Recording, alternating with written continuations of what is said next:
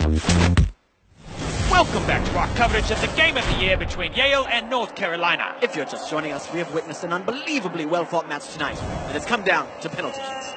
Peterson for Yale, taking the first approach. Oh! Spectacular! North Carolina's goalkeeper Richards just left one in past him now, so now the burden rests on Yale's Scott Sterling. Here he comes, nerves of steel, that man, dealing with more pressure now than a submarine. Indeed. Home crowd showing some appreciation.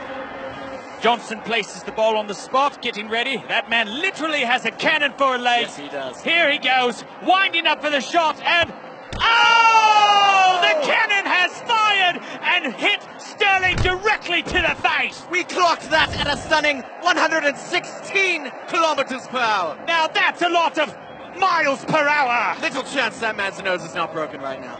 Oh, indeed. Now, Sterling getting checked out for that one. Spectacular save, though, but sadly, he's not out of the woods yet. On his feet now, a bit shaken. But not stirred.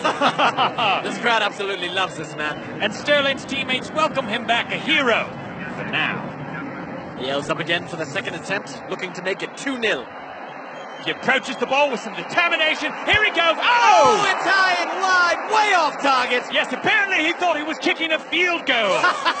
Wrong kind of football, I'd say. Good show.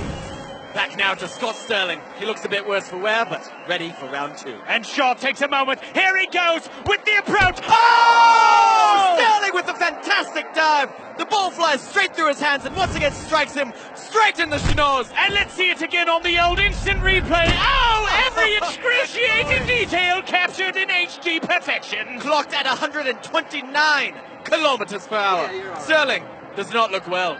Two wonderful saves and two definite concussions. They may replace him at this point. He's done all he can. Yes, as his trainer takes him off the field like a mustached lion dragging a gazelle through the Serengeti. Adieu, Scott Sterling. Adieu. Yale now with their third PK. Richards is in the goal, bouncing like an infant girl. The crowd holds their breath as he goes in.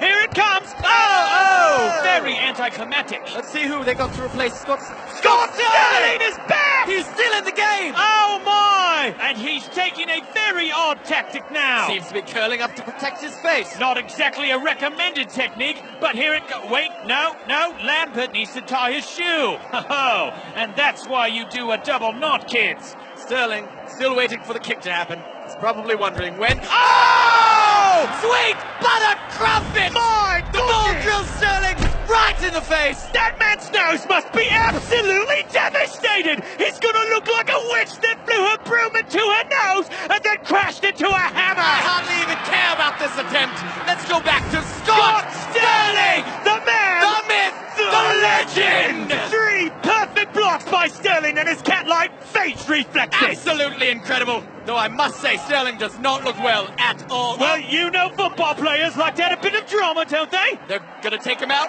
No, wait!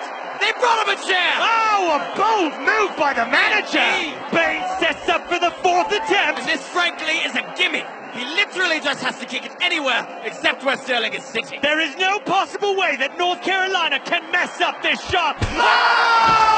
158 kilometers per hour! This man can do no wrong. Look at him beg for mercy when it's mercy that should be begging for him. He has looked death in the eye and said, take your best shot. To which Death replies by punching him in the face over and over and over again. If Yale makes this final shot, it's all over. But no! Oh, he misses, which means we're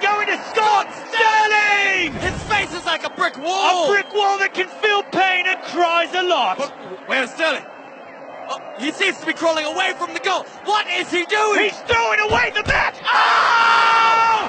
Sterling oh! has done the impossible! I can't believe it! Look at that! He played it just right! What incredible instincts to crawl away from the goal like that! And his teammates rush the field, happy as a lark as they slide in. A Bernini sculpture of a finish! As his teammates carry him off on the stretcher of glory, we thank you for sharing this absolutely heart-stopping finish. Scott Sterling and his face of steel have won